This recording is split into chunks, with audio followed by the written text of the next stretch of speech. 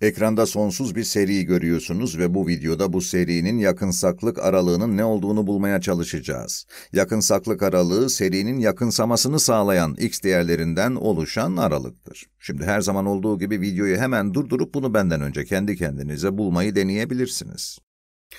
Seriye şöyle bir baktığımızda bunun geometrik ya da değişen bir seri olmadığını söylemek mümkün ve buna benzeyen bir şey gördüğümde aklıma hemen genel bir test olan oran testi gelir. Oran testini uygulamak için limit en sonsuza giderken n artı birinci terim bölü n'inci terimin mutlak değerini bulmamız gerekir. Bunun değeri eğer birden küçükse, evet o zaman seri yakınsar deriz. Bunun değerini birden büyük yapan x değerleri söz konusu olduğunda ise seri ıraksar. Ve 1'e eşit değer almasını sağlayan x değerleri de bir sonuç elde edemeyeceğiz ve serinin davranışının ne olduğunu bulmak için farklı teknikler uygulayacağız anlamına gelecek. Peki, şimdi bunu denemeye ne dersiniz? Limit en sonsuza giderken mutlak değer içinde n artı birinci terim x üzeri n artı 1 bölü n artı 1 çarpı 5 üzeri n artı 1. Şimdi bunu bir de n'inci terime yani x üzeri n bölü n çarpı 5 üzeri n'e böleceğiz. Mutlak değeri kapayalım ve bunu şimdi daha sade bir hale getirmeye çalışalım. Şuradan devam edeceğim. Peki bir daha yazalım. x üzeri n artı 1 bölü n artı 1 çarpı 5 üzeri n artı 1 çarpı bunun tersi yani n çarpı 5 üzeri n bölü x üzeri n. Sadeleştirmek için payı ve paydayı x üzeri n'e bölersek geriye x kalır. Payı ve paydayı bir de 5 üzeri n'e bölelim. Burası 1, burası da 1. 5 üzeri n artı 1'i 5 üzeri n'e bölünce de geriye 5 kalır. x çarpı n bölü parantezi açalım. 5n artı 1. Ee, hayır, yanlış oldu. 5, evet 5n artı 5.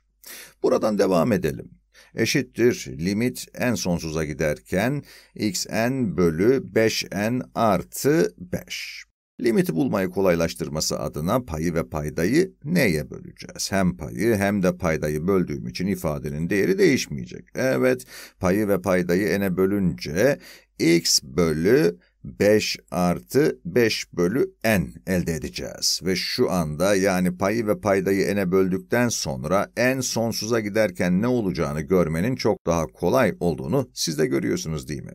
n sonsuza giderken x değişmeyecek 5'te ama 5 bölü n'in değeri sıfıra yaklaşacak. Dolayısıyla bu limitte x bölü 5'e eşit olacak. Harika, çok temiz ve net bir sonuç elde ettik. Şimdi de bunu kullanarak, bu arada bunun mutlak değerini almamız lazım. Aman onu unutmayalım. Evet, şimdi de x'in hangi değerleri için bunun birden küçük olacağı, yani serinin yakınsayacağını, hangi değerleri için birden büyük olacağı, yani serinin ıraksayacağını ve hangi değerleri için de sonuçsuz kalacağımızı düşünelim.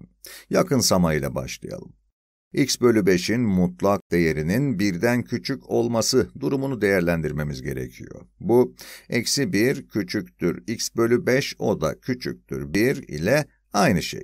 Eşitsizliğin iki tarafını 5 ile çarparsak da eksi 5 küçüktür x, o da küçüktür 5 elde ederiz. Bunun yakınsaklık aralığının bir parçası olduğundan emin olabiliriz. Neden diyecek olursanız x'in bu değerleri serinin yakınsamasını sağlayan değerler de ondan ama işimiz henüz bitmedi sonuçsuz duruma da bir göz atmamız lazım. Bu mutlak değer x bölü 5'in 1'e eşit olması anlamına geliyor ve bunu x bölü 5'in 1'e ya da eksi 1'e eşit olması şeklinde ifade edebiliriz. Buradan da x'in 5 veya eksi 5'e eşit olmasını elde ederiz. Başka bir deyişle oran testini sonuçsuz bırakan bu iki değeri ayrı ayrı test etmemiz gerekecek. Seriye bu iki değeri verelim ve neler olacağını görelim. Birinci senaryoda farklı bir renk bulalım. Mesela kırmızı olsun, tamam. x eşittir 5 için serimiz ne olacak bir bakalım. Toplam n eşittir birden sonsuza kadar 5 üzeri n bölü n çarpı 5 üzeri n olacak öyle değil mi? Bu da n eşittir birden sonsuza kadar 1 bölü n'in toplamına eşittir ve bunun harmonik bir seri olduğunu söyleyebiliriz. Bu P'nin 1'e eşit olduğu bir P serisidir ve P serilerinde P 1'e eşit olduğunda serinin ıraksayacağını biliyoruz. Evet, daha önceki videolarımızdan da hatırlayacaksınız. Harmonik seriler bu durumda ıraksıyorlardı. Bunu P serisi yakınsama testiyle de bulabilirsiniz. Bir P serisinin P değeri 1 ise o seri ıraksar. 5'in yakınsaklık aralığına dahil olmadığından artık eminiz. Peki ya eksi 5? x eksi 5'e eşit olduğunda başka bir renk alayım. x eksi 5 iken toplam sembolü n eşittir birden sonsuza kadar eksi 5 üzeri n bölü n çarpı 5 üzeri n elde ederiz. Bunu toplam n eşittir birden sonsuza kadar eksi 1 üzeri n çarpı 5 üzeri n bölü n çarpı 5 üzeri n evet olarak da yazabiliriz. Ve gördüğünüz gibi bu da değişen bir harmonik seri. Bunun yakınsadığını biliyor olabilirsiniz. Eğer bilmiyorsanız da değişen seriler testini kullanabilirsiniz. Değişen seriler testinde Şöyle yazayım daha açık olsun. Bu değişen bir seri ve değişen seriler testinde bunun monoton bir şekilde azaldığını görüyor isek ve en sonsuza giderken limit eğer sıfırsa bu serinin yakınsadığını söyleyebiliriz. Değişen harmonik seriler yakınsar. Evet bu durumda seri yakınsıyor ve bu da bunu yani eksi 5'i yakınsaklık aralığına dahil etmemiz gerektiği anlamına geliyor. Yani x'in eksi 5'ten büyük olması değil, eksi 5'e eşit de olabilir diye revize etmem gerekiyor. Ama 5'ten küçük olarak kalacak tabii. Ve işte karşınızda bu serinin yakınsaklık aralığı.